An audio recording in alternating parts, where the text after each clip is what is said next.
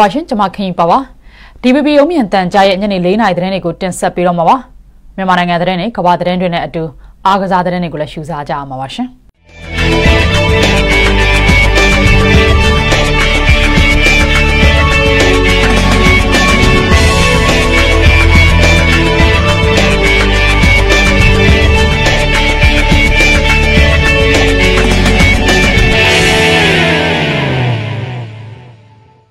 မန္တလေးတိုင်းဒေသကြီးညဦးမြို့နယ်အတွင်းမှာအော်တိုဘာလ2ရက်နေ့က COVID-19 လူနာ25ယောက်ထပ်မံတွေ့ရှိခဲ့ကြောင်း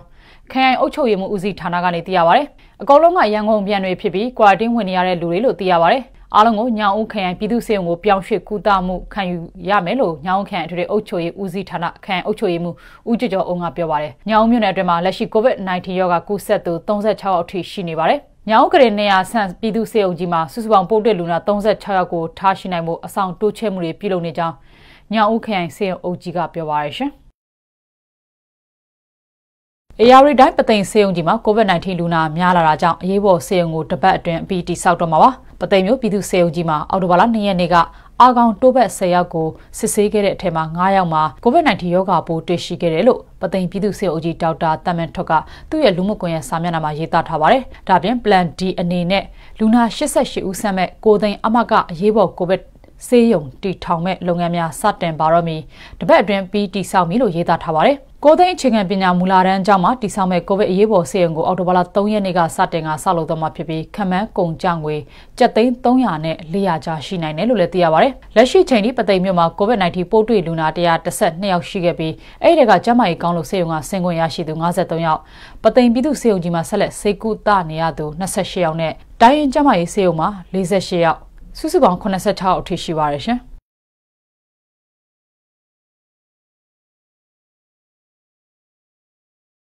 ရှမ်းပြည်နယ်တောင်ပိုင်းမှာအော်တိုဘာလ2ရက်နေ့ကကိုဗစ်အတည်ပြုလူနာသစ်3ယောက်ထပ်မံတွေ့ရှိခဲ့တယ်လို့ရှမ်းပြည်နယ်ပြည်သူ့ကျန်းမာရေးဦးစီးဌာနလက်ထောက်ညွှန်ကြားရေးမှူးဒေါက်တာဆာဝနာကိုကပြောပါရယ်တောင်ကြီးမြို့ဆက်ဆံထွန်းစေယုံကပြည်သူ့ကျန်းမာရေးတခွဲမှုဆိုင်ရာတခွဲနမူနာ102ခုကိုစစ်ဆေးခဲ့ရမှာ COVID-19 အတည်ပြုလူနာ3ယောက်ထပ်မံတွေ့ရှိခဲ့တာပါ ပိုးတွေ့ရှိခဲ့တဲ့လူနာတွေကတောင်ကြီးမြို့နယ်အေးသာမြို့ကတယောက်ပင်တရာမြို့ကတယောက်အောင်ဝမ်းမြို့ကတယောက်ဖြစ်ပါတယ်။ပိုးတွေ့လူနာအားလုံးရဲ့အခြေအနေတွေဟာကောင်းမွန်နေပြီးလက်ရှိတောင်ကြီးမြို့ဆက်ဆံထွန်းဆေးရုံမှာ COVID positive လူနာ၈ယောက်ဆေးကုသမှုခံယူနေရပါတယ်ရှင်။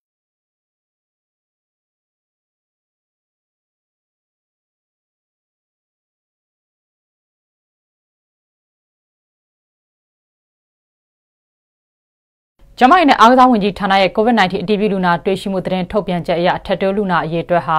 1142ယောက်နဲ့သေဆုံးသူ32ယောက်ရှိပါတယ်။ယောဂဖြစ်ပွားနေတဲ့ကာလအတွင်းမှာအများပြည်သူတွေအနေနဲ့စေုံစေကန်းသွားလာဖို့အခက်အခဲတွေလည်းရှိနေတဲ့အတွက်ဒီပြဿနာတွေကိုဆရာဝန်တွေစီတိုင်ပင်နိုင်မှုအစီအစဉ်တွေလှုပ်ဆောင်ထားတဲ့ပတ်သက်လို့သတင်းရယူနေတဲ့ DVB သတင်းတောက်မေစုကိုဆက်သွယ်မေးမြန်းကြည့်သွားမှာပါ။မင်္ဂလာပါမေစု။ ဒီပထမဆုံးမေးချင်တာပေါ့နော်အများပြည်သူတွေအနေနဲ့ကျန်းမာရေးပြဿနာအခက်အခဲတွေကိုဆရာဝန်တွေစီမှာတိုင်ပင်ဆွေးနွေးလို့ရတယ်ဆိုတဲ့အစီအစဉ်ကဘယ်လိုမျိုးလဲဆိုတာကိုအရင်ဆုံးရှင်းပြပေးပါဦး ဟုတ်ကဲ့ပါရှင်အများပြည်သူတွေပေါ့နော်ဒါကတော့ကိုဗစ်ကာလမှာမိဘပြည်သူတွေကြုံတွေ့ရတဲ့ကျန်းမာရေးပြဿနာတွေကိုတယ်လီဖုန်းဖြင့်ဆွေးနွေးအကြံပေးမယ်ဆိုတဲ့အစီအစဉ်ကိုဒါမြန်မာနိုင်ငံအထွေထွေရောဂါကူးဆရာဝန်များအဖွဲ့ကနေပြီးတော့ဒါစီစဉ်ဆောင်ရွက်တာပါရှင်ဒါဆိုလို့ရှိရင်ပေါ့နော်စက်တင်ဘာလ25ရက်နေ့ကနိုင်ငံတော်တိုင်ပင်ခံပုဂ္ဂိုလ်ကနေပြီးတော့ဒါအထွေထွေရောဂါကူးဆရာဝန်တွေအနေနဲ့လည်းသူတို့ရဲ့ကိုဗစ်တိုင်းဖြတ်ရေးမှာပါဝင်ပါမယ်ဆိုရဲပေါ့နော်ပါဝင်ဖို့တိုက်တွန်းလို့ရဆိုတဲ့အကြံပြုချက်အရသူတို့လည်းဒါအားသက်ပြောဆောင်ရွက်တာဖြစ်တယ်ဆိုပြီးတော့သိရပါတယ်အဲ့ဒါတော့ပေါ့နော်ဒီအစီအစဉ်မှာဆိုလို့ရှိရင်ဒါကိုဗစ်နဲ့ပတ်သက်တဲ့ရောဂါလက္ခဏာရောကိုဗစ်မဟုတ်တဲ့တခြားစီးကျိုသွေးတို့နှလုံးဒီယောဂတွေရောပေါ့နော်ရှိရှိသမျှကျန်းမာရေးပြဿနာတွေကိုဒါဆရာဝန်တွေကိုဖုန်းတိုက်ရိုက်ဆက်ပြီးတော့အဲဘယ်လိုတွေပေါ့နော်လုံးဆောင်ရမလဲဆိုတော့အများပြည်သူတွေအနေနဲ့ဖုန်းဆက်ပြီးတော့မေးမြန်းလို့ရမယ့်အစီအစဉ်ပါဒီအစီအစဉ်ကိုဒါအများပြည်သူတွေအနေနဲ့သိချင်တယ်ဆိုရင်တော့ဒါ MMA CME ဆိုတဲ့ Facebook page ပေါ့နော်စာမျက်နှာမြန်မာ Medical Association ကလုပ်တဲ့ဒီစာမျက်နှာမှာဟိုပေါ့နော်သူတို့အနေနဲ့ဒါမြို့နယ်တွေအလိုက်ဆရာဝန်တွေရဲ့ဖုန်းနံပါတ်တွေနဲ့ဒါထည့်သွင်းထားတယ်အဲ့ဒါကိုဒါကြည့်ပြီးတော့ပေါ့နော် Facebook ကနေပြီးတော့ search bar ကနေရှာပြီးတော့ပေါ့နော်အဲ့မှာဆရာဝန်တွေဖုန်းနံပါတ်တွေနဲ့ဖုန်းဆက်လို့ရပါတယ်အဲသူတို့အနေနဲ့ဆိုလို့ရှိရင်ပေါ့နော်ဒါမြို့နယ်တိုင်း technical ဖုန်းတွေကိုခေါ်ဆိုမေးမြန်းနိုင်တယ်ဒါပေမဲ့သူကမြို့နယ်အလိုက်ကိုခွဲပြီးတော့ဆောင်ရွက်ထားတာတွေရှိပါတယ်အဲ့ဒီမှာဆိုလို့ရှိရင်ပေါ့နော်မြို့နယ်12မြို့နယ်ကိုလောလောဆယ်မှာ service ကိုစပေးနေပြီအော်တိုဘာလ1ရက်နေ့ကစရဆိုပြီးသိရပါတယ်မြို့နယ်12မြို့နယ်ကဆိုရင်အလုံးဗဟန်းလှိုင်အင်းစိန်မယန်းကုန်းစမ်းချောင်းလမ်းမတော်တာမွေတာကေတာတင်ငန်းကျွန်းညတကုံပဇွန်တောင်ပေါ့နော်ဒီမြို့နယ်တွေမှာဒါစပြီးတော့ဒီမြို့နယ်တွေလည်း စပြီးတော့လှုပ်ဆောင်နေပြီပေါ့နော်အဲ့ဒီမှာဆိုလို့ရှိရင်တနင်္လာနေ့ကနေပြီးတော့တောက်ကြနေဒီမနက်9:00နာရီကနေ12:00နာရီအတွင်းဒီထဲမှာပါတဲ့ဟိုဖုန်းနံပါတ်တွေပေါ့နော်အဲ့ဒီမှာပေးထားတဲ့စာရွက်ထဲမှာပေးထားတဲ့ဖုန်းနံပါတ်တွေကိုဒါဖုန်းဆက်ပြီးတော့အဲ့ဆရာဝန်တွေကိုမေးမြန်းနိုင်မယ်လို့သိရပါတယ်ဒါမြို့နယ်အလိုက်လဲဒါဖွင့်လှစ်ထားတယ်ပေါ့နော်ဒီထဲမှာဆိုရင်မြို့နယ်တစ်မြို့နယ်ကိုဆရာဝန်9ဦးကနေ15ဦးပါဝင်ဖွဲ့စည်းပြီးတော့ volunteer တွေ official medical တွေအားလုံးပူးပေါင်းပြီးတော့ဆောင်ရွက်ထားတာဖြစ်တယ်ဆိုပြီးသိရပါတယ်အဲ့ဒီအစီအစဉ်မှာဆိုလို့ရှိရင်ပေါ့နော်ဒီ covid-19 နဲ့ပတ်သက်တဲ့ ဒါပေါ့နော်ဟိုအချိန်တွေလည်းမေးမြန်းနိုင်မှာဖြစ်သလိုတခြားအချိန်တွေလည်းမေးမြန်းနိုင်မှာပါအခုအချိန်တွေကဘာလို့သူတို့ဒီလိုဆောင်ရွက်လဲဆိုရင်ပေါ့နော်ဒီလိုကာယောဂဖြစ်နေတဲ့အချိန်မှာဆရာဝန်တွေနဲ့လူနာတွေနဲ့ social distancing အချိန်တွေရှိရဲ new normal life မှာနေထိုင်ရတဲ့အနေအထားတွေရှိနေလို့ဖုန်းနဲ့ဆွေးနွေးတိုင်ပင်တဲ့လုပ်ငန်းကိုဆောင်ရွက်ခြင်းဖြစ်တယ်ဆိုပြီးတော့လည်းဒါသိရပါတယ်ရှင်ဟုတ်ကဲ့ပါဆိုတော့ဒီထပ်ပြီးမေးချင်တာကထပ်တိုးလူနာတွေနဲ့ပတ်သက်တဲ့တဲ့မှာအဲ့ထပ်တိုးလူနာတွေပေါ့နော်အတီးပြီးလူနာတွေနဲ့ပတ်သက်ပြီးတော့စုံစမ်းသိထားသလောက်ပြပြပေးပါအောင်ရှင်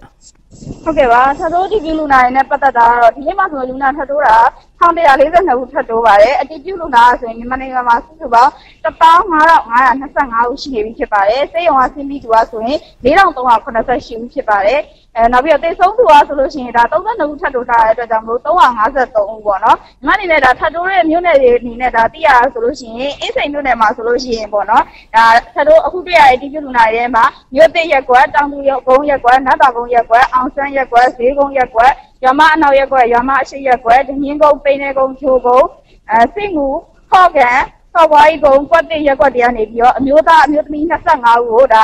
COVID-19 စစ်ဆေးတွေ့ရှိရဖြစ်ပြီးတော့ အဲ့ထဲမှာဆိုလို့ရှိရင်ပေါ့နော်တေဆုံးခဲ့တဲ့ဒီတက်မိုင်ဌာနထုတ်ပြန်တဲ့တေဆုံးသူ32ဦးထဲမှာဆိုရင်အင်းစိန်မျိုးနယ်ကဆိုလို့ရှိရင်လည်းတန်ခါတော်တစ်ပါးနဲ့ဒါအမျိုးသမီးတူပါဝင်တယ်ဆိုပြီးသိရပါတယ်တန်ခါတေဆုံးခဲ့တဲ့တန်ခါတော်ကဆိုလို့ရှိရင်တောင်သူဘုံရက်ကွက်မက်ကင်ကျောင်းတိုက်ကဖြစ်တယ်ဆိုပြီးတော့ဒါသတင်းရရှိထားတာရှိပါတယ်ရှင်ဒီလိုပဲပေါ့နော်တခြားမျိုးနယ်တွေမှာလည်းချက်ပြီးတော့ထပ်တို့အတိပြုလူနာရရှိရဲဒါပေမဲ့ညီမအနေနဲ့မေးကြည့်တဲ့အခါမှာတော့ဒါသက်ဆိုင်ရာတာဝန်ရှိသူတွေကသူတို့စုံစမ်းပြီးတော့လိုက်ပြီးတော့တင်းပြုစုနေတယ်ဖြစ်တယ်ဆိုပြီးတော့လည်းသိရပါတယ်နောက်ပြီးတော့တခြားနယ်တွေမှာဆိုလို့ရှိရင်လည်းထပ်ပြီးတော့သိရှိထားတာဆိုရင်မန္တလေးတိုင်းမှာဆိုလို့ရှိရင်ညာဦးမှာဆိုလဲဒါရန်ကုန်ကပြန်ပြီး quarantine ဝင်နေတဲ့သူတွေကနေဆို25ဦးတွေ့ရှိရဆိုပြီးတော့ဗောနော်ဒါသိရှိရတာရှိရပြီးတော့ဟိုတောင်ကြီးမှာဆိုလို့ရှိရင်လည်းတောင်ကြီးတက်မိုင်ဌာနကနေပြီးတော့ဗောနော်ဒါဟိုသူတို့အနေနဲ့ဒါတစ်ခွက်နမူနာအောင်တရားကျော်မှာ၃ခုတွေ့ရှိခဲ့ရဖြစ်ပြီးအဲ့၃ခုကဆိုရင် quarantine ဝင်နေတဲ့သူတွေတည်းကပဲပင်းတရားအောင်ပန်းအေးပါရာဖြစ်တယ်ဆိုပြီးတော့ဒါသိရှိထားရရှိပါရှင်ထပ်တိုးဒီလူနိုင်နဲ့ပတ်သက်ပြီးတော့ဟုတ်ကဲ့ပါကျေးဇူးပါမေဆုရဲ့အခုလိုစုံစမ်းပြီးသတင်းပေးပို့တဲ့အတွက်ကျေးဇူးအများကြီးတင်ပါတယ် ဒါကတော့ဒီကာလမှာစေယုံစေကန်သွားပြဖို့အခက်အခဲရှိတဲ့ပြည်သူတွေကိုဆရာဝန်တွေနဲ့တိုင်ပင်နိုင်မှုလှုပ်ဆောင်တာနဲ့ပတ်သက်ပြီးသတင်းတော်မေစုကိုဆက်သွယ်ခဲ့တာပါဆက်လက်ပြီးတော့လည်းသတင်းတွေကိုတင်ဆက်ပေးမှာပါရှင်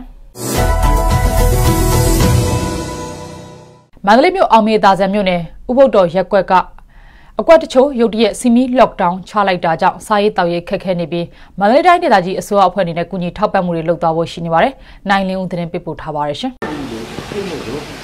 မန္တလေးမြို့အောင်မေတာဆန်မြို့နယ်မှာအော်တိုဘာလ1ရက်နေ့ထိ COVID-19 ဓာတ်ခွဲတီးပြုလူနာ45ဦးရှိတဲ့အနက်29ဦးဟာဥပုဒ္တော်ရက်ကွက်တစ်ခုထဲမှာနေထိုင်သူတွေဖြစ်ပါတယ်။ဒါကြောင့်ရက်ကွက်ထဲကအကွက်မှတ်29နဲ့20ကိုစီမီလော်တောင်ချထားပြီးအသွာလာကန့်သက်ထားကအဲ့ဒီနေရာနှစ်ခုလုံးမှာအိမ်တော်စု220ကျော်နဲ့လူဦးရေ1000နီးပါးနေထိုင်ကြပါတယ်။လိုအပ်တဲ့စားရေးတောက်ရေးတွေကိုအလူရှင်တချို့ကတတ်နိုင်တဲ့လောက်လှူတာတွေရှိပြီးဒီကနေ့အော်တိုဘာလ2ရက်နေ့မှာမန္တလေးတိုင်းဒေသကြီးဝန်ကြီးချုပ်လာရောက်စစ်ဆေးကထောက်ပံ့ရေးတွေလုပ်နိုင်ဖို့အိမ်တော်စုစည်းကောက်ခိုင်းထားတယ်လို့သိရပါတယ်။ပြည်သူတွေအနေနဲ့ဘာမှမသိရပဲချက်ချင်းစီမီလော်တောင်လောက်တာကြောင့်စားရေးတောက်ရေးအတွက်အခက်အခဲရှိကြတယ်လို့ဆိုပါတယ်အဲ့ဒီမှာကျွန်တော်တို့ညပိုင်းကိုစပြီးတော့ကျွန်တော်တို့ကျိုးတွေပါတားပြီးတော့ကျွန်တော်တို့ဒီကရောက်ကွက်ကဂျာရီမူလေးတွေဆယ်မူလေးတွေပရာဟိတအဖွဲ့တွေနဲ့မိသက်တွေနဲ့ပူးပေါင်းပြီးတော့မှကျွန်တော်တို့ဆောင်ရွက်ရပါတယ်ဆောင်ရွက်တဲ့နေရာမှာဘာအခက်အခဲတွေရှိလဲဆိုတော့ဟိုဒီလို6နာရီလောက်ကပိတ်လိုက်တော့ဆိုတော့ချင်းအိမ်အောင်စင်းတွေကလည်းကောက်ရတယ် ဒါပေမဲ့ public မှာဘာမှမသိရရှာပဲနဲ့ဒီဟာကိုချက်ချင်းဖြစ်တော့ဒါလည်းဟိုစိုးရင်လို့ဟိုကလည်းကျွန်တော်တို့ခြာခိုင်းလိုက်တာပေါ့လေလောက်ခိုင်းလိုက်တာကျွန်တော်တို့ကလည်းအဲ့နဲ့သူတို့ဒီမှာဝယ်စရာချမ်းစရာဘာညာဆိုပြီးတော့အဲ့လိုဖြစ်ပါတယ်အဲ့ဒါလည်းသူတို့တွေတဲ့လူဆိုတော့အကုန်လုံးခက်ခဲတွေကြီးပါပဲ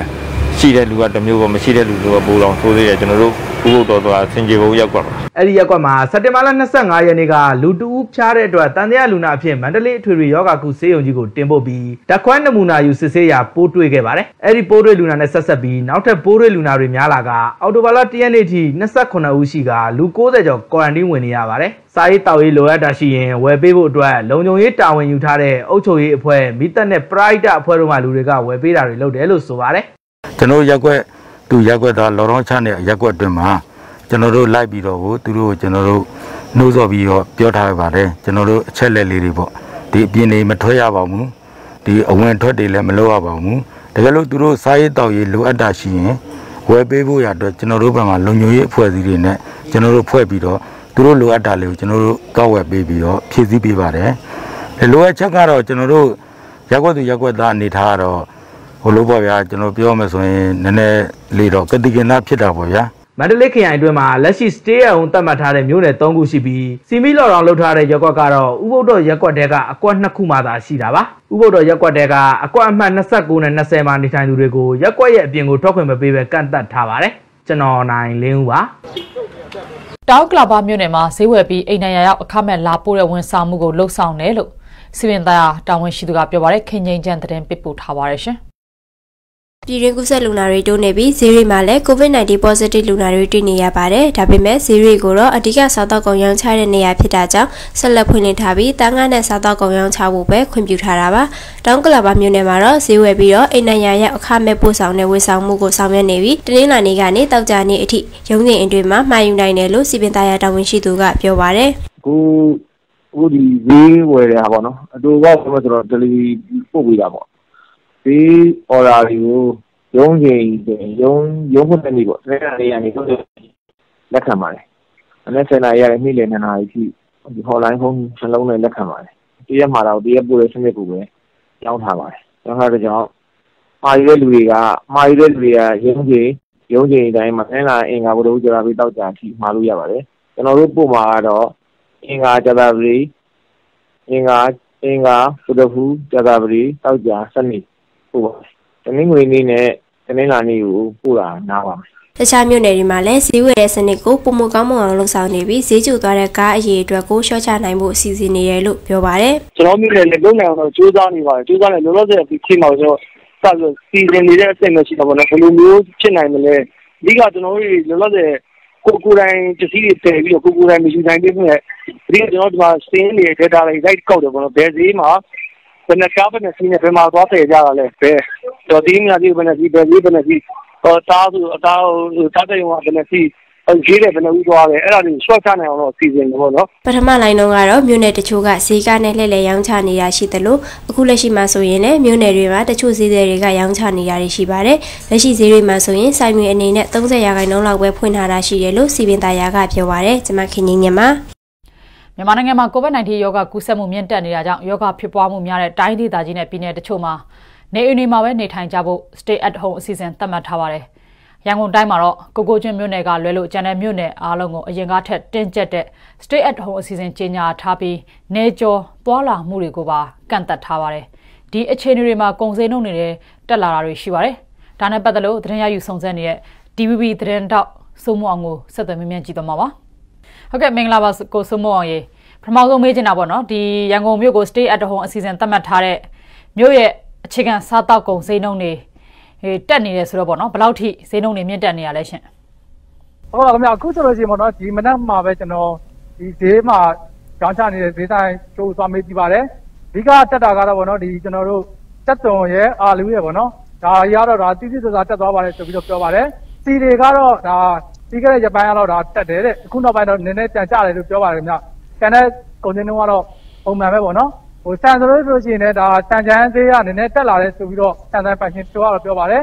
အဲနောက်ပြီးတော့ဒီအချောသေးဆိုလို့ရှိရင်လည်းကျွန်တော်တို့ဈေးတော့မတက်ဘူးဒါပေမဲ့ဆန်တွေကအရွေသေးမကောင်းတဲ့ဆန်တွေပေါ့နော်အဲအစားထိုးပြီးတော့ရောင်းတာမျိုးတွေရှိတယ်ဆိုပြီးပြောပါခင်ဗျဟိုကုန်စည်နဲ့ပတ်သက်ပြီးတော့ဆိုလို့ရှိရင်လည်းကျွန်တော်ခရမ်းကျင်ဒီတို့ နောက်ပြီးတော့ဗောနော်ကျွန်တော်တို့ဒီညစ်တို့ဆိုလို့ရှိရင်ဒါတော်တော်လေးတီးတရာတက်သွားတာပေါ့အဓိကတော့ကုန်ကျန်းတက်လက်မှုတွေပေါ့ကျွန်တော်စေးအောင်ကာလမှာအသွားလာတွေ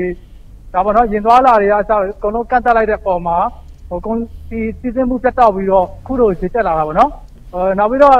ဘာတွေတက်လိုက်ဆိုလို့ရှိရင်ကျွန်တော်တို့ဟိုဟာတွေတက်ပါတယ်ဘယ်ဥတို့ဘာလို့ဆိုလို့ရှိရင်ဒါဝယ်လို့မရတဲ့အနေအထားပေါ့နော်အဲအဲ့မျိုးတွေရှိပါခင်ဗျဘယ်ဥကြောက်ဆိုလို့ရှိရင်လည်းနောက်တစ်ခါဆိုလို့ရှိရင်ကျွန်တော်တို့ဟို ကျမရေးတုံးပေါ့နော်စေဝါပစ္စည်းဆိုလို့ရှိရင် COVID-19 မှာအခုကျွန်တော်လူတော်တော်များများပေါ့နော်ဟိုဝယ်ယူသုံးပြုနေတဲ့ TBIT ဆိုဆိုတဲ့စေးမျိုးဆိုလို့ရှိရင်ဒါဟိုဈေးတက်လာတာတွေ့ရပါခင်ဗျဟုတ်ကဲ့ဟုတ်ကဲ့ရှင်ဟုတ်ကဲ့မြို့နယ်ဖြစ်ကျော်ဒေါ်လာကွင်းကလည်းကန့်သက်ထားတယ်ဆိုတော့ပေါ့နော်ကုန်စည်စည်းစိမ်မှုမပြတ်တတ်အောင်သက်ဆိုင်ရာအဖွဲ့အစည်းတွေကလှုပ်ဆောင်နေတာမျိုးတွေရှိလားရှင်ဟုတ်ကဲ့ပါဗျာအခုဆိုရင်တော့ဒီလိုမျိုးတေးအောင်ကာလတွေမှာသတ်မှတ်ထားတဲ့အတွက်ကိုဟိုကျွန်တော်ပြည်내တိုင်းပြည်ကြီးတွေမှာကုန်စည်စစ်စစ်မှုတွေဒါပေါ့နော်ဒီဟို တက်တောက်နေတယ်ပေါ့အဓိကကတော့ဒီကုန်စည်စစ်စစ်မှုတွေမတက်တောက်အောင်လို့ဆိုပြီးတော့တိုင်းနဲ့ပြည်နယ်ကအာတက်ဆိုင်ရာပေါ့အစိုးရအဖွဲ့တွေနဲ့ဒီစီးပွားကူးသန်းဝင်ကြီးကတော့တစ်ပတ်ကိုနှစ်ကြိမ်တော့ပေါ့နော်ကျွန်တော်တွေ့ဆုံပြီးတော့ဒီလိုကုန်စည်စစ်စစ်မှုတွေမပြတ်အောင်လို့ဟိုလုပ်ပေးနေပါတယ်ဆိုပြီးတော့ပြောပါတယ်ကုန်စည်စစ်စစ်မှုတွေမပြတ်အောင်လို့လည်းပေါ့ကျွန်တော်တို့ဒီတက်ဆိုင်ရာကျွန်တော်တို့ဘောနော်ဒီအဖွဲ့အစည်းတွေနဲ့ပေါင်းပြီးတော့ဟိုလက်လီလက်ကားဆိုင်တွေအထိရောက်အောင်လို့ပေါ့ဒီကုန်စည်တွေကိုပို့ဆောင်နေတာရှိတယ်လို့ပြောပါတယ်ဟိုဒါကတော့ဘောနော်ဒီ သာတော့ရာဦးစီးဌာနညွှန်ကြားဒုတိယညွှန်ကြားမှုချုပ်ဦးမြင့်ချိုဟော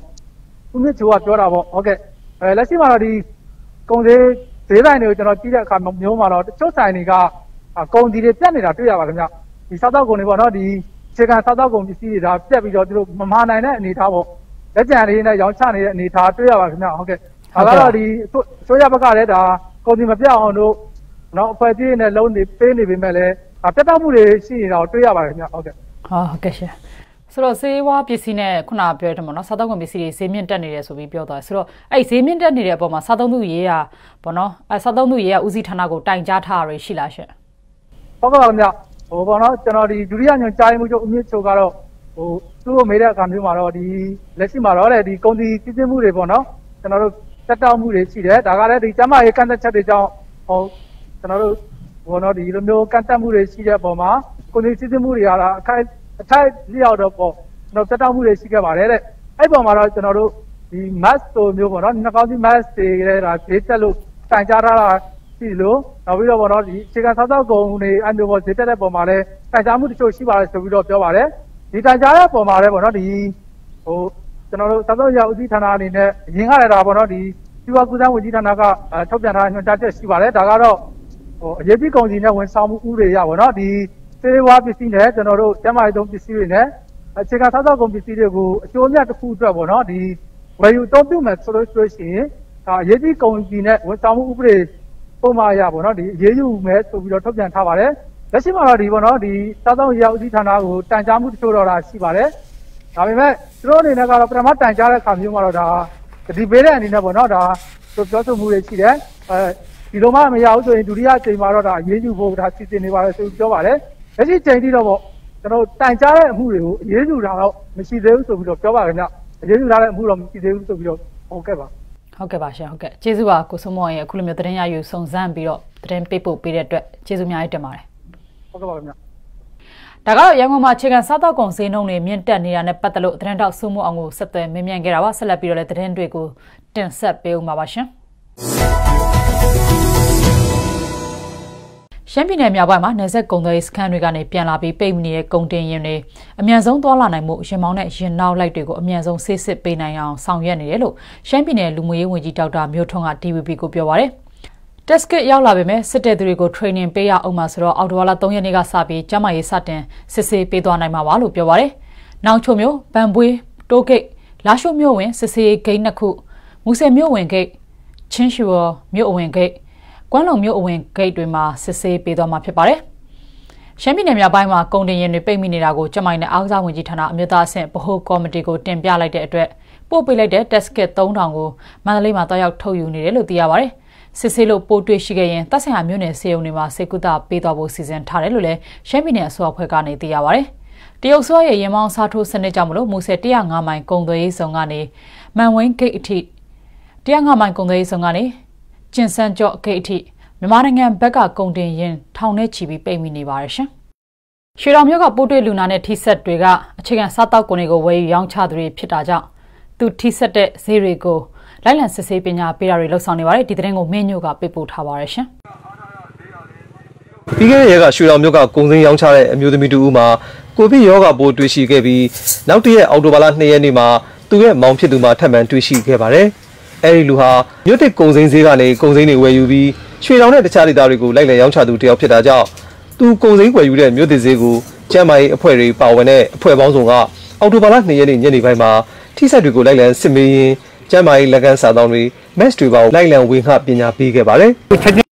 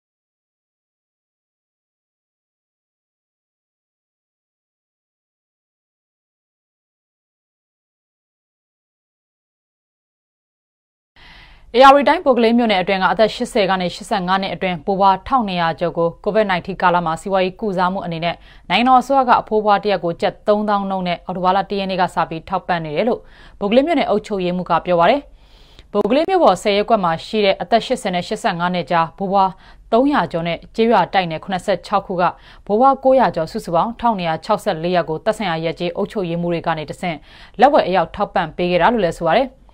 အသက်85နှစ်အထက်ဘိုးဘွားတွေကိုတော့ပြီးခဲ့တဲ့ဇန်နဝါရီလကစပြီးတလ1000နှုန်းနဲ့3လတစ်ကြိမ်3000နှုန်း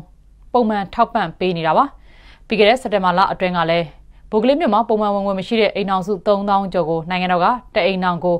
ကျပ်2000စီလေးချိန်မြောက်ဖြစ်ထောက်ပံ့ပေးအပ်ခဲ့ပြီးဖြစ်တယ်လို့တာဝန်ရှိသူတွေကပြောပါရရှင်။မကွေးတိုင်း6မြို့နယ်မှာပြည်အောင်စုကြံ့ခိုင်တဲ့ဖွံ့ဖြိုးရေးပါတီကအောင်နိုင်ရေးဆိုင်ဘုတ်တချို့ဖျက်ဆီးခံလိုက်ရတယ်လို့ 6မြို့နယ်ပြည်အောင်စုကြံ့ခိုင်တဲ့ဖွံ့ဖြိုးရေးပါတီတာဝန်ရှိသူကပြောပါရယ်စိုက်ထူထားတဲ့ဆိုင်ဘုတ်တွေကိုဂဲနဲ့ထုခံရလို့ပေါက်ပြဲတာတချို့ရွာမှာဆိုင်ဘုတ်တစ်ခုလုံးကိုဖြုတ်ပြီးရွာအပြင်မှာလွှင့်ပစ်တာတွေရှိတာကြောင့်အခုလိုကိစ္စရက်တွေနဲ့ပတ်သက်လို့ရကြေးကော်မရှင်နဲ့မြို့နယ်ကော်မရှင်တွေကိုတင်ပြထားတယ်လို့6မြို့နယ်ပြည်အောင်စုကြံ့ခိုင်တဲ့ဖွံ့ဖြိုးရေးပါတီကလွှတ်တော်ကိုယ်စားလှယ်လောင်းဦးတန်းလှိုင်ကပြောပါရယ်6မြို့နယ်အတွင်းကနေရာ9ခုမှာအခုလိုဖျက်ဆီးခံရတာဖြစ်ပြီးကျေးရွာတချို့မှာလည်းကိုဗစ်ကာလအကြောင်းပြချက်နဲ့ရွာပိတ်ပြီး ကျေးရွာတွေကိုအဝင်မခံတာတွေရှိနေတယ်လို့ဆိုပါတယ်အခုလိုဆိုင်ဘုတ်တွေဖြက်စီးခံရတာဟာရဲရဲပိုင်မှုဖြစ်လို့ကျေနပ်မှုမရှိရင်တပ်ဆိုင်ရာရဲတပ်ဖွဲ့တွေကိုအမှုဖွင့်အရေးယူတိုင်ကြားမှာဖြစ်လို့ပိတ်ထားတဲ့ကျေးရွာတွေကတော့ကိုဗစ်ပထမလိုင်းကလေးကရှိတယ်လို့ကျေးရွာတွေရဲ့ဆုံးဖြတ်ချက်နဲ့လောက်ကင်နေတဲ့ delay နဲ့ပဲသက်ဆိုင်တယ်လို့မြို့နယ်ရွေးကောက်ပွဲကော်မရှင်ရုံးကပြောပါရရှင်။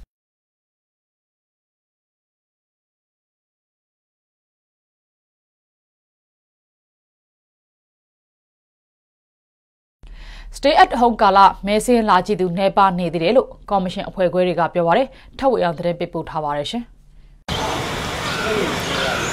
နောက်ဆုံးအကြိမ်မဲစင်းတွေကိုတပ်ဆိုင်ရာရက်ကြီးကော်မရှင်ဖွဲ့ခွဲရုံးတွေမှာအော်တိုဘာ၁ရက်နေ့ကနေစတင်ကတ်ထားတာဖြစ်ပြီးစုစုပေါင်း14ရက်ကြာကတ်ထားပြီးမှဖြစ်ပါတယ်။ဒါပြင်ကိုဗစ်ကာလမှာအွန်လိုင်းကနေမဲစင်းကြည့်ရှုလို့ရအောင်လဲကော်မရှင်ဘက်ကဆောင်ရွက်ထားတာပါ။ အဲ့လို online ကနေလည်း message ကြည့်လို့ရနေတာကြောင့် message လာကြည့်သူနဲ့ပါနေသေးတယ်လို့မန္တလေးတိုင်းဒေသကြီးရွေးကောက်ပွဲကော်မရှင်ဖွဲ့ခွဲဥက္ကဋ္ဌကပြောပါတယ်အဲဖုန်းရှိတဲ့လူကတော့သူ online ကြည့်လို့ရတာပေါ့သူက online ရတာကိုအဲ့မှာတင်းထားတဲ့ညွှန်ကြားချက်၃ချက်ရှိတယ်ကြာအဲကြီးကော်မရှင်နဲ့ဦးရဲ့ဖုန်းနံပါတ်ကလည်းပေါ်ပြထားပါတယ်တဲ့အဲ့ဒီဖုန်းနံပါတ်တိုင်းကျွန်တော်တို့ကြည့်ပါကြည့်ပြီးအဲ့ပုဂ္ဂိုလ်တွေနဲ့ဆက်သွယ်ပါဆိုပြီးတော့အခုညီတောင်းပါဆိုပြီးတော့တနည်းပေးထားပါတယ်ခင်ဗျအဲ့လို online ကနေ message ကြည့်လို့ရပါမယ်မြေပြင် message မှာအမည်စင်းပါတဲ့သူတွေက online ကကြည့်တဲ့ message မှာမပါဝင်တာတွေကိုလည်းတွေ့နေရတယ်လို့ line မြို့နယ်73ရက်ကွက်ကော်မရှင်ဖွဲ့ခွဲဥက္ကဋ္ဌကပြောပါတယ် ရှာတဲ့ခါကျတော့တချို့ကျတော့ online ထဲမှာရှာတဲ့ခါကျအခက်အခဲလေးရှိတယ်ဗျအခက်အခဲလေးရှိရဆိုတာမိသားစုလေးယောက်မှာနှစ်ယောက်လောက်ကို online မှာပေါ်ပြီးနှစ်ယောက်လောက်ကပေါ်မလာဘူးမပါတော့သူတို့ကမဲစင်းထဲမှာပြန်ပျောက်နေသလားသူတို့နာမည်မပါဘူးလားဆိုပြဿနာလေးတွေရှိတော့ဗျာအဲ့ဒါကျွန်တော်မဲစင်းမှာပြန်ရှာတဲ့ခါကျတွေ့တယ်ပြီးတော့ကျွန်တော်တို့သူတို့ဖုန်းဆက်ပြီးကျွန်တော်ရဲ့ဆက်သွယ်ဖုန်းနံပါတ်ကလေးသူတို့အဲ့မှာပေါ် online မှာပေါ်တယ်လေတကယ်ရှိလို့ရှိရင်ဆက်သွယ်ဖို့73ယောက်ကမှဆက်သွယ်ဖို့ကျွန်တော်နဲ့ကျွန်တော်စီးရင်နဲ့နှစ်ယောက်ပေါ့အတွင်းမှုနဲ့ဖုန်းနံပါတ်ကိုပေါ်တယ်ဆက်ဟောတော့သူတို့လှမ်းလှမ်းပြီးတော့ မေးပါလေမေးတဲ့ခါကျကျွန်တော်ကမဲစင်းနဲ့တိုက်ပြီးရှာပေးတဲ့ခါတွေ့ရများပါလေဒါအပြင် online မှာ UEC ကတင်ပေးထားတဲ့ website link တွေကိုဝင်လို့မရတာတွေလည်းကြုံနေရတယ်လို့လူမှုကွန်ရက်မှာလည်းဝေဖန်မှုတွေရှိနေတာပါရန်ကုန်မြို့မှာဆိုရင်လည်းမြို့နယ်ကျော်တော်လာခွင့်မရှိတဲ့အတွက်မဲစင်းပါတဲ့မြို့နယ်တွေမှာမနေထိုင်တော့ပဲတခြားမြို့နယ်တွေကိုပြောင်းရွှေ့သူတွေဟာမြေပြင်မှာမဲစင်းသွားကြည့်ဖို့အခက်အခဲရှိနေပါတယ်။အဲဒီကိစ္စနဲ့ပတ်သက်လို့ဘယ်လိုဆောင်ရွက်သွားမလဲဆိုတဲ့ပေါ်ရန်ကုန်တိုင်းဒေသကြီးရွေးကောက်ပွဲကော်မရှင်အဖွဲ့ခွဲနဲ့ ပြည်အောင်စုရွေးကောက်ပွဲကော်မရှင်ဘက်ကိုဖုန်းနဲ့ဆက်သွယ်မေးမြန်းနေပေမဲ့ဆက်သွယ်လို့မရသေးပါဘူး။ online message မှာနာမည်ပါဝင်သူတွေအချက်လက်မှားယွင်းနေသူတွေအနေနဲ့သက်ဆိုင်ရာရဲကြီးကော်မရှင်အဖွဲ့ခွဲရုံးမှာပုံစံတောင်းယူပြီးဖြည့်ဆွတ်ဖို့နဲ့မဲဆင်းကိုကြည့်ရှုပေးကြဖို့တော့ကော်မရှင်ဘက်ကတိုက်တွန်းထားပါတယ်။နောက်ဆုံးချိန်ကျင်ညာတဲ့မဲဆင်းအရာကနဦးမဲဆင်းထက်မဲဆန္ဒရှင်တသန်းကျော်တိုးလာပြီးစုစုပေါင်း38တန်းကျော်ရှိလာမှာဖြစ်ပါတယ်။ကျွန်တော်ထောက်ရအောင်ပါ။ရှမ်းပြည်နယ်မြောက်ပိုင်းကြောင်မဲမြို့ နတ်ဝါရွာအနီးမှာတက်မတော်နဲ့ RCSS တို့အော်တိုဘာလ2ရက်နေ့ကတိုက်ပွဲဖြစ်ပွားတာကြောင့်ကြောင်မဲမြို့နယ်ဟိုင်ကွီရွာဘုံကြီးကျောင်းကိုစစ်ပေးဆောင်ရွာသား90လောက်ရောက်ရှိလာတယ်လို့ကြောင်မဲမြို့နယ်ပြည်သူ့လွှတ်တော်ကိုယ်စားလှယ်လောင်းဆိုင်းကူကပြောကြားပါရယ်တက်မတော်အင်အား100လောက်ကရွာထဲဝင်လာပြီးရွာနီးနားမှာရှိနေတဲ့ RCSS တပ်ဖွဲ့ဝင်တွေကိုလာရောက်ပစ်ခတ်တာဟာရွာနဲ့အလွန်နီးကပ်တာကြောင့်တရွာလုံးကြောက်ရွံ့ထိတ်လန့်ကထွက်ပြေးလာကြရတာလို့နတ်ဝါရွာကရွာသားတယောက်ကလည်းပြောပါရယ်တချို့ဆိုရင်အိမ်တကားတောင်ပိတ်ချိန်မရခဲ့ဘူး ကျွေးနွားတွေလည်းဒီတိုင်းထားခဲ့ရတယ်အလုံးထွက်ပြေးလာကြရတယ်လို့ဝိုင်ကွီရွာဘုံကြီးကျောင်းကိုရောက်ရှိလာတဲ့ထွက်ပြေးလာသူတူကလည်းပြောပါတယ်ဟိုင်ကွီရွာကနေဆိုင်ငယ်နဲ့10မိနစ်လောက်သွားရတဲ့နတ်ဝါရွာဟာအိမ်နောက်စု15စုနဲ့လူဦးရေ90လောက်သာရှိတဲ့ရွာငယ်လေးဖြစ်ပါတယ်ရှင်။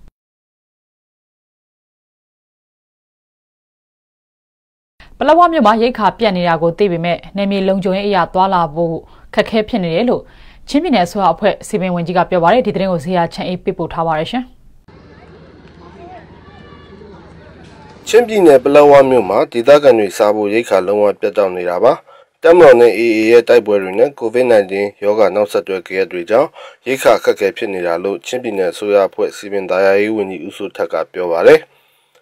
ပြည်ထောင်စုအစိုးရအဖွဲ့ကထောက်ပံ့တဲ့ရိတ်ခါတွေကိုပလောဝဒေသကိုပို့ဖို့ကလေးမျိုးခန်းတီမျိုးတို့မှာပြင်ဆင်နေပြီလို့လည်းဆိုပါတယ်အခုကာလကကိုဗစ်ရောဂါဖြစ်တဲ့ကာလလေးဖြစ်တယ်ကိုဗစ်ဖြစ်တဲ့အတွက်သွားရလာရေးကန့်သတ်ချက်တွေလည်းရှိတယ်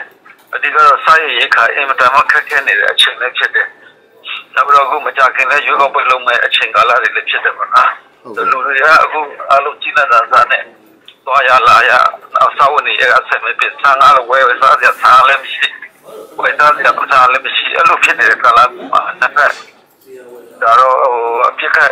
ရစပြီးတော့ဟိုနှစ်ဖက်ကတော့ကျညာနာပဲဒါပေမဲ့ဒီမှာတော့ ဟိုဒီလူလူကတိုင်းလာရခက်ခဲပြီးတော့ခက်ဟိုတော်တော်ဝစားရခက်ပါခက်နေတယ်ဟာဖြစ်တဲ့အတွက်ဟိုပြင်းနေဆိုအနေနဲ့တော့အေးချမ်းတဲ့နေပြည်တော်မရှိတဲ့ကျွန်တော်ပေါ့နော်ချင်းပြည်နယ်ဒေသခံရဲဘက်ဖွဲ့စည်းတွေကတော့ပလောဝမြို့ကိုကူညီထောက်ပံ့မှုပူးပေါင်းဆောင်ရွက်နေတယ်လို့ဆိုပါတယ်လက်တလောအခြေအနေမှာတော့ပလောဝဒေသခံတွေဟာတမတော်စီမှာရှိနေတဲ့ရိတ်ခါကိုပဲပြန်ဝယ်စားနေရတယ်လို့ဆိုပါတယ်ဒေသခံတွေကအခုဆန်လဲ အာဇီဇီနှုတ်တက်လာတယ်အဲ့ဒီဆန်လဲဒီအခုအမ်လူလူလေးနဲ့မရဘူးပေါ့နော်ဒီဒီလုံချုံရေးတာဝယ်ယူနေတဲ့တမတော်ရုပ်စီမှာပဲဝယ်လို့ရတယ်တဲ့ချင်းပြည်နယ်ပလောဝမြို့ဟာရခိုင်ပြည်နယ်နယ်စပ်မှာရှိတဲ့မြို့ဖြစ်ပြီးအစိုးရတပ်မတော်နဲ့ရခိုင်တပ်မတော် AA တို့တိုက်ပွဲတွေဖြစ်ပွားနေပြီးစစ်ရေးတင်းမာတဲ့ဒေသတစ်ခုဖြစ်ပါတယ်။ COVID-19 ကြောင့်ကုန်သွယ်ရေးလမ်းကြောင်းတွေပိတ်ကုန်တာကြောင့်ပိုခက်ခဲတဲ့အခြေအနေနဲ့ရင်ဆိုင်နေရပါတယ်။ကျွန်တော်ကစီယာချမ်းအေးပါ။